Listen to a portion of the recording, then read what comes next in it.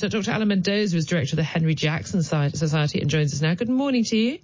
Good morning. Good How morning. Uh, very well. Now, of course, we know, of course, that Boris Johnson has his uh, experience as Foreign Secretary, although most people would say, and I'm included in this, it wasn't a uh, particularly uh, celebrated uh, uh, period in office. Um, what are the implications of Boris Johnson taking over in terms of our foreign and defence policy? We know there's concerns about how much we are spending on our military, particularly the, the, the plight of the Navy, especially with what's going on with Iran. In terms of our relationships with America, with the EU, of course, what does Boris Johnson's premiership change? Change? Well, um, at the moment, it's way too early to tell for that basis. I mean, what, what we have are a lot of options on the table, and it should be noted, of course, that while he was Foreign Secretary, Boris Johnson was an enthusiastic promoter of the idea of global Britain. Here's a Britain post-Brexit that was going to be out there, um, sort of playing a full role in international affairs, uh, building alliances, making its weight felt in diplomacy. And uh, one assumes that together with that, uh, the, uh, the, armed forces would be uh, better prepared and also funded in order to provide for that global Britain role, which would require a military element as well as a diplomatic element going forwards. Um, and, and, in terms of the immediate issues that are facing Boris Johnson, as uh, any prime minister faces now, of course, you know we've got an outgoing foreign secretary, we had an outgoing defence secretary, outgoing prime minister, lost a lot of the people who've been key in playing these roles in, in what are some very complicated diplomatic wrangles at the moment.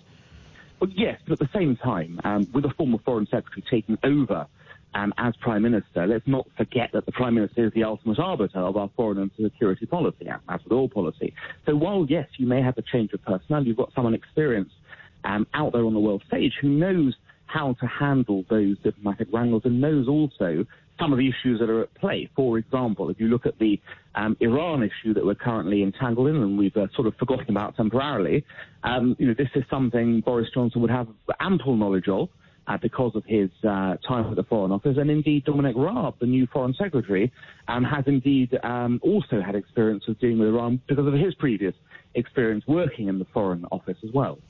And in terms of relations with uh, one of our strongest uh, military, security, intelligence, and uh, trading allies, uh, Donald, uh, Donald Trump, of course, uh, he's already been praising Boris Johnson, said that he's Britain's Trump. Um, uh, do you think that that relationship is, is going to improve because things got pretty icy while uh, Theresa May was uh, uh, in power, even though they had that very successful state uh, state visit earlier this year? Um, do you think that, Boris is, is, someone who can sort of basically push that relationship with Donald Trump, or, or, do you think, I mean, given that he has actually been quite critical of things Donald Trump has said before, that as Donald Trump perhaps moves to the right even further ahead of his bid to the 2020 presidential election contest, that there may end up being another fall falling out? Well, I think the, the point you made a, a, few moments ago was actually quite good with the previous guest. Um, Boris Johnson is not Donald Trump on many policy issues in that way, but one place where he and the president clearly get on is just in personality.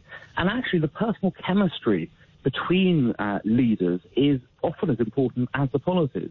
You can have two leaders, and we've had it before uh, in the past, who disagreed on uh, issues uh, between the US and the UK, um, and it hasn't harmed the relationship because they've gotten on in general. And then you've had a frostiness um, in other ways when uh, there haven't been disagreements particularly, but it hasn't been a particularly warm relationship. I think what we'll now see is maybe some policy disagreements. It'll be normal for there to be policy disagreements between the two countries, but because uh, both men know each other and both men appear to get on uh, in person, I think they'll be able to ride over uh, those problems in a different way to how uh, Donald Trump and Theresa May had to negotiate their problems. Absolutely fascinating. Thank you very much indeed, Rod Alan Mendoza, Director of the Henry Jackson Society. 7.31 is the time still to come on.